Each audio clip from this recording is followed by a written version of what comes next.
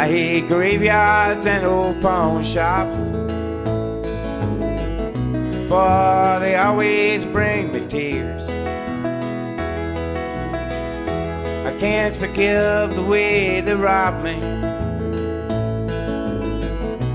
of my childhood souvenirs.